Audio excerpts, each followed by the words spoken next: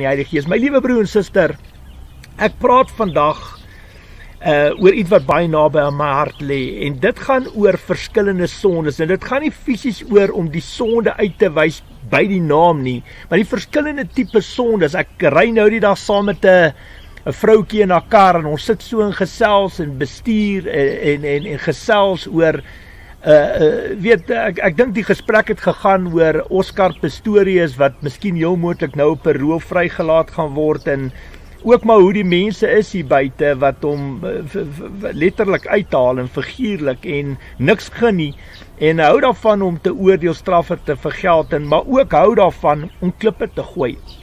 En weet jy die vroutjie sê vir my iets wat my getrigger het wat vir my nogal die vuur in my hart aan die brand gesteek het om vandag hierdie leerstelling te maak. En sy sê vir my sonde is sonde. Daar's nie 'n klein of 'n groot sonde nie. By God maak dit nie saak wat 'n sonde is die sonde is sonde waar ek op die einde van die dag eintlik met haar gebots het ek het nie 100% saam met haar gestem nie. En dit was vir my hoe kan ek sê ja, die trigger om om hierdie leerstelling te maak. En ek wil vandag vir jou sê wat aan die ander kant sit of jy 'n pastoor is, dominee, leraar, priester, profeet of jy 'n gewone Christen is wat hard werk in die week Sondag kerk toe gaan, jou kerk ondersteun.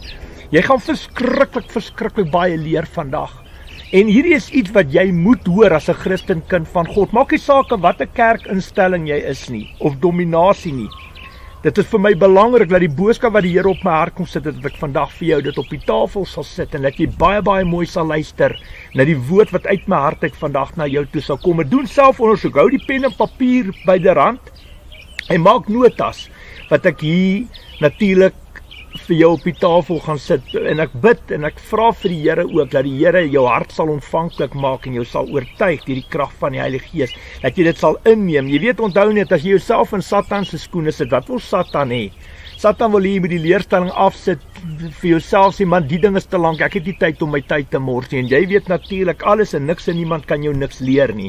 En jy moet pas op daarvoor. En dit is wat ek vandag vir jou sê. Vandag gaan jy leer die verskillende tipe sondes wat daar is. Sondes jy kan nie klein en groot sondes soos mense sê nie. Jy daar is verskillende tipe sondes. Soos daai vrou sê jy kan nie klein en groot sondes. En ek gaan vandag vir julle elkeen verkeerd bewys dat daar is verskillende tipe sondes in die oë van die Here sondes teenoor God, sondes teenoor jouself en teenoor die mensdom. En sekere goed wat die Here baie sterk op my hart uitgelê het om vandag na julle na die tafel toe te bring. Verskoon maar as die voeltjies bietjie rasie om my, is vir my die mooiste gelei. Dit is dis is seker die mooiste hoek van die erf hierso waar ek stil raak en wat ek die natuur so naby my hart kan voel. Geniet dit.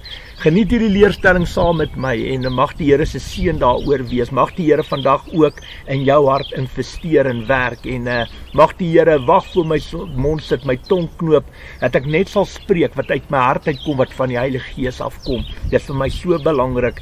My liewe broer en suster, as ons kyk na sondes, ons begin by een tipe, by die eerste tipe sonde as ek dit so kan noem en dit is sondes teenoor God. Nou baie belangrik as ons kyk na hoogmoed. Dit is 'n sonde wat die Here sterk op my hart bring om na die tafel toe te bring. Hoof ho hoogmoed is die hoofrede hoekom Satan uit die hemel uitgewerp is of weet dit omdat hy nie omdat hy hoogmoedig geraak het, opstandig geraak het teenoor God en dat hy nie onder God se gesag wou knie gebuig het nie. Nou baie belangrik ons besef en ons weet dat Satan is ons eintlik geestelik voor. Jy ons beklei 'n onsigbare vyand hier buite wat wat reeds in die hemel was, wat vir God ken, maar wat wat homself hoog geag het om beter en belangriker as God probeer ag het en hy wou nie onder God se gesag knie gebuig het nie en God het hom uit die hemel uit gewerp. En uh, ons weet hy soos 'n bliksemstraal op hierdie aarde neergeval en vandag is hulle tussen ons. Jy kan nie sien wat jou geestesoog is toe, maar ja, hulle gebruik die wêreld met al sy lekkerny om vir jou en vir my saam met hulle in die verderf te trek en hoogmoed is 'n absolute absolute groot sonde. En uh dis hoekom die Bybel daar is vir ons. Verstaan jy, gaan jy onder God se gesag knie buig of nie? Want dis wat die Here gee. Hy gee sy Bybel vir jou en hy sê vir jou, hy sê vir my, hy sê vir enige persoon wat vandag na hierdie leerstelling luister, gaan jy onder my gesag knie buig ja of nee? En dit is hoekom daar 'n woord van God is, hoekom daar 'n Bybel is wat deur die Heilige Gees geïnspireer het. En ons moet die woord kan getrou gehoorsaam en die woord toets met die woord. Dit is wat belangrik is. Nou As ons lees in Jesaja 14 vers 11 tot 15, dit is waar Satan uit die hemel uitgewerp is. Ek lees dit vir julle want die Here wil hê ek moet die woord ook spreek. Ek moet alles staaf en bevestig met met die woord. Verstaan jy? Want dit is wanneer daai geestelike swaar swaard swai in die geestesrealm as ek natuurlik uit die Bybel uit praat. Dit is wat hierdie leerstelling so kragtig maak. So jy gaan baie baie leerstellings, baie skrifte ook hoor vandag wat jou geestelik jou gemoed gaan oplig en ek gaan vingers wys en punte uitwys wat vir jou as Christen Christen kind verskriklik belangrik is om die ewige koninkryk te behaal.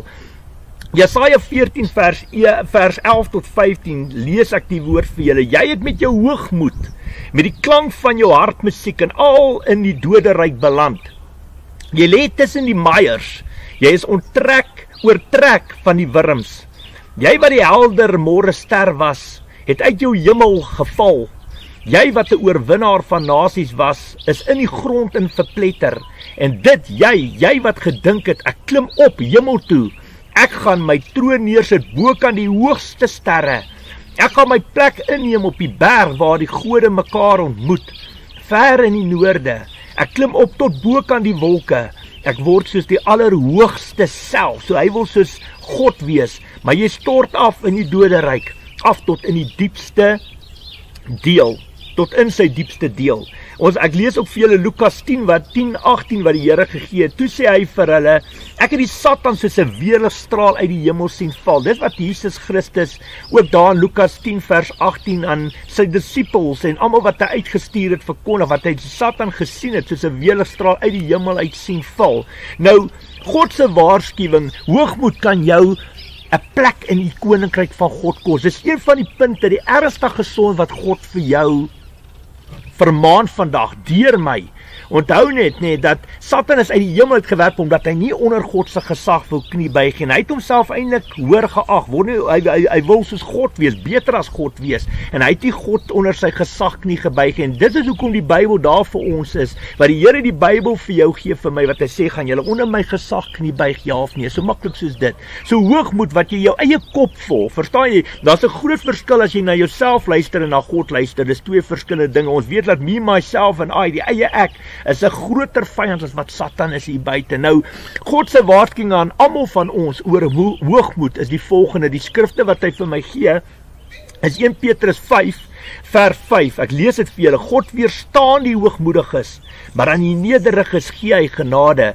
Nog 'n skrif 2 Samuel 22 vers 28 ek lees dit uit die 1953 vertaling u verlos die verdrukte volk maar u oë teen die hoogmoediges, u verneder hulle. En dan nog 'n skrif wat die Here gee, Jesaja 2 vers 11 en vers 17. Hulle is baie naby aan dieselfde. Ek lees dit vir julle, daai twee verse. Die hoogmoediges sal tot 'n val kom. Die selfversekerde sal verneder word. Op die dag sal net die Here hoog wees. Die hoogmoedige sal verneder word. Die selfversekerde sal tot 'n val kom. Op die dag sal net die Here hoog wees. Ehm um, nog 'n skrif wat die Here vir my gee wat 'n fantastiese skrif wat 'n baie belangrike skrif vir elkeen van ons is. Uh Matteus 16:24 Jy moet jouself kan verloon. Hoor hierdie woord. Hoor wat sê die Here. Luister baie mooi.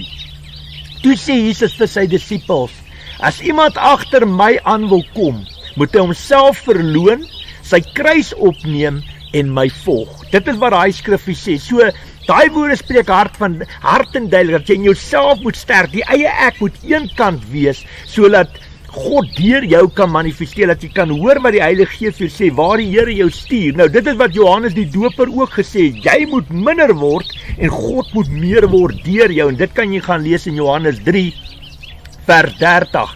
So dis die eerste sonde wat die Here aan my uitwys wat baie belangrik is. Jy kan hom nie vergelyk teen ander sondes ook nie. Ons kom nou by die ander sondes, maar dis die eerste punt. Luister baie mooi. Die volgende ene gaan oor laster. Nou luister baie baie mooi.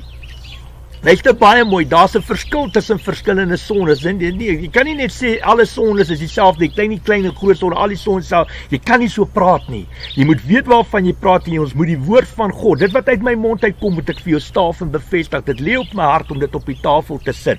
As ons kyk na laster, is die woord hart en duidelik in Matteus 12 vers 31 en 32. Daarom sê ek vir julle Elke sonde en lastering kan die mens vergewe word. Maar die lastering teen die Heilige Gees kan nie vergewe word nie. As iemand iets teen die seun van die mens sê, kan dit hom vergewe word. Maar as iemand iets teen die Heilige Gees sê, kan dit hom nie vergewe word nie, nie in hierdie bedeling nie en ook nie in die toekomstige bedeling nie. So is baie belas dat jy weet dat jy kan ook die seun van die mens laster wat baie mense doen wat hulle Jesus se naam ook uitelik misbruik en bespot en 'n grap van hom maak en maak of hy nie bestaan het nie. Maar as dit kom by die Heilige Gees, as jy daar trap, trap jy op diep to, to, uh, uh, tone en natuurlik is daar nie vergifnis vir daai sonde so baie baie belangrik dat jy weet hoe belangrik hierdie waarskuwing, hierdie vermaaning aan elke Christen van ons is. Dan gaan ons na die volgende uh uh um punt wat die Here op my hart kom lê het. Uh, ongehoorsaam, as jy ongehoorsaam is aan God, luister baie baie mooi. Nie jou swaard swaai nie, dis nou daai geestelike swaard wat jy jou werk vir die Here doen. Jou geestelike swaard is mos nou Efesiërs 6 vers 12 tot 18, daai swaard, daai geestelike swaard. So luister baie mooi, as jy ongehoorsaam is aan God, nie jou swaard swaai nie, nie praat nie, nie opstaan vir jou geloof of vir jou God nie, nie jou opdragte uitvoer nie. Luister baie baie mooi, dit is nog 'n sonde wat die Here op my hart kom lê wat baie belangrik is. En dit wat ek dit is wat ek ek moet dit nou dit wat ek vir jou sê moet ek kan staaf en bevestig uit die woord dit. In die skrifte wat die Here vir my gee is Jeremia 48 vers 10 ek lees dit vir julle. Daar is 'n vloek op elkeen wat traag is om die werk te doen wat die Here hom gegee het op elkeen wat sy swaard nie vrylik bloed laat vergiet nie. Nou daai geestelike swaard dit kom daarop neer dat jy moet jou opdrag vir die Here as jy opgeroep is vir 'n vir 'n spesifieke doel en rede opgeroep is moet jy jou werk kan kan doen en nie wegvlug van jou werk af nie. Verstaan jy? Jy moet daai swaard laat swaai wat ons geestelike vyand, ons weet mos Satan en sy bose magte, dis die ware vyand hier buite. En dis hoekom die Here sê 2 Korintiërs 10 vers 3 tot 5 dat ons lewe in vleeslike liggame, maar ons beklei nie met aardse wapens nie. Dis hoekom dit so belangrik is dat jy jou geestelike swaard sal swyn, dat jy die opdrag van die Here sal uitvoer. Baie baie belangrik.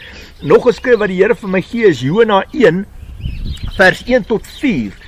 Selfde met hom, hy wil nie die Here se opdrag uitgevoer, hy het weg probeer vlug van die Here af. Ek lees dit vir julle Jona 1 vers 1 tot 4. Die woord van die Here het tot Jona seun van Amittai gekom.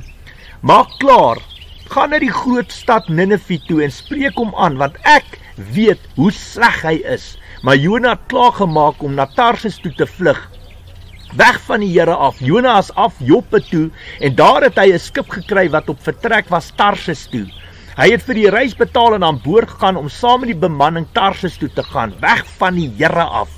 Maar die Here het 'n kwaai storm oor die see laat opkom. Daar was 'n baie sterk wind op die see en die skip wou uitmekaar uitbreek. So daar het Jona in opstand gekom teenoor die opdrag van die Here. Verstaan jy, ek hy het belangstelling jou moontlik verloor in die opdrag wat die Here gee en hy wil wegbeweeg daarvan. En dit wys jou net as die Here jou opgeroep het, kan jy hoe hoe daarteen beklei jy gaan die lewe net vir jouself baie baie moeilik maak, baie baie ongemaklik maak. En dit wat die Here ons ook leer as ons kyk na Saul.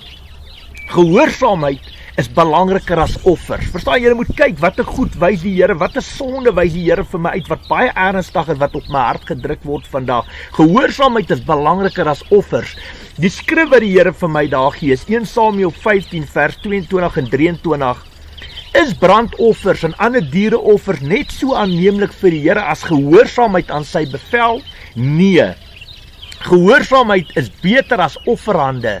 Om te luister is beter as die vet van ramme. Weerspattigheid is net so erg as die sonde van waarsêery.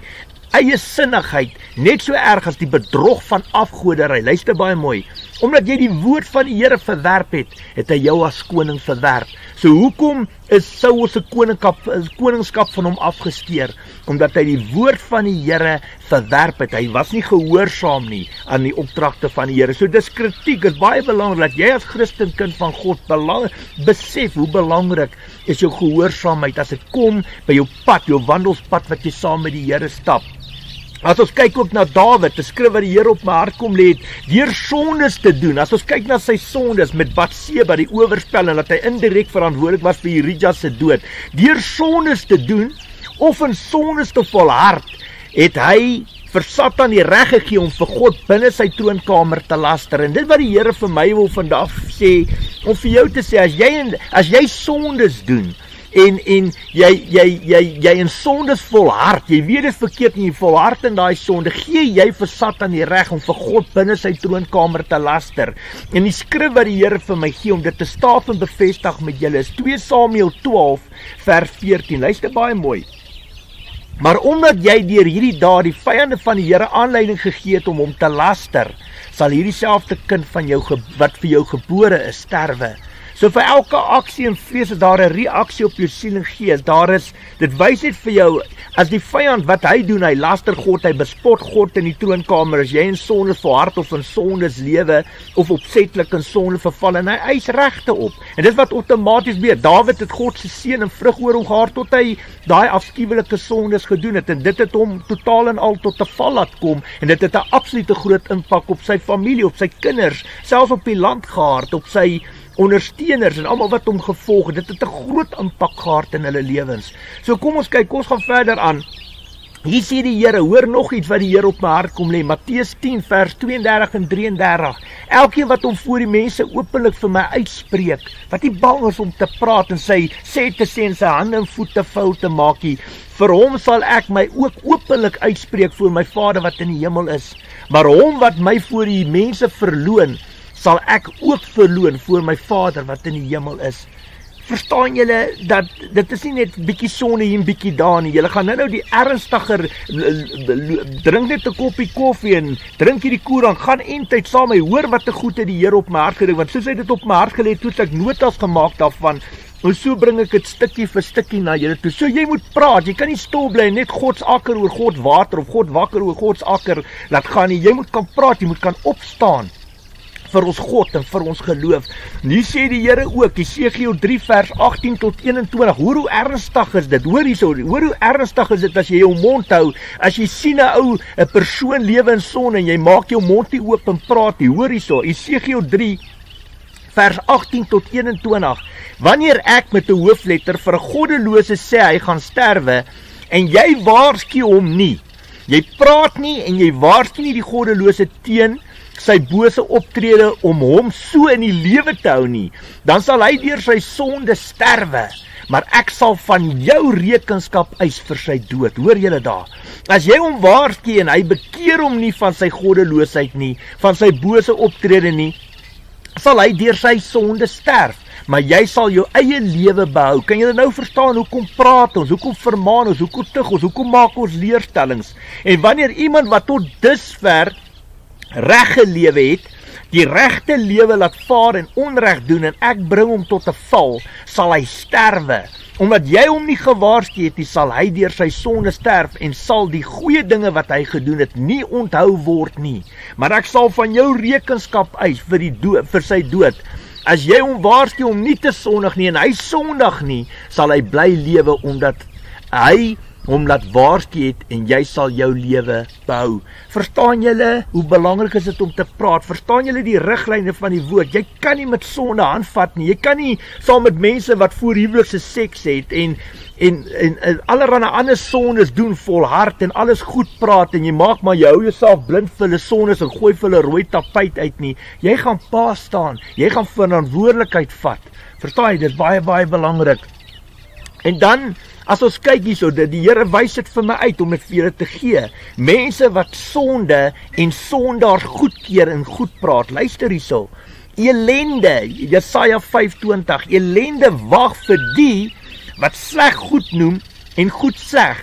Wat van duisternis lig maak en van lig duisternis, wat bitter soet noem en soet bitter. Hoeveel van ons kerke, van ons geestelike leiers praat die sondes goed en ons probeer dit wat sleg is goed praat. Elende wag vir julle, die woord is hard en duidelik. Hier sien Maleagi 2:17 nog geskryf wat die Here my gee. Julle het die Here moeg gemaak met wat julle gesê het en dan vra julle nog waarmee het ons hom moeg gemaak? Julle het dit gedoen toe julle gesê het vir die Here is almal wat verkeerd doen goeie mense. Hy hou van hulle of toe julle gevra het waar is die God wat reg moet laat geskied? Nog 'n skrif wat die Here vir my gee, Romeine 1:32. Hulle is mense wat die verordening van God ken dat die wat sulke do dinge doen die dood verdien. En tog doen hulle nie net self hierdie dinge nie, maar hulle vind dit ook goed as ander dit doen. Verstaan jy as jy dit goed vind dat ander mense so in sonde lewe en jy praat dit goed terwyl jy in jou hart en jou gees weet volgens die Bybel is dit verkeerd, het jy 'n probleem. Dan gaan jy pa staan, jy gaan jou hande moet vou maak en jou en jou voete moet vou maak en begin opstaan en jou kruis dra vir die koninkryk van God.